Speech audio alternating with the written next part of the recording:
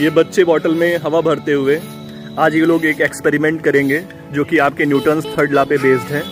पहले ये बॉटल में पानी भर लिए, उसके साथ हवा भर रहे हैं। बच्चों ने बॉटल में हवा भरने के लिए एक साइकिल के नोजल का इस्तेमाल किया है, जिसे उन्होंने ढक्कन में कट करके फिट कर दिया है और उसे एयर टाइट बना दिया है। उसके बाद उन्होंने बॉटल के अंदर काफ़ी प्रेशर में हवा भरा और जैसे ही वो बॉटल के ढक्कन को ओपन करेंगे, हवा बहुत तेज़ी से बाहर आएगा और जिसके रिस्पॉन्ड में बॉटल आपका आगे जाएगा।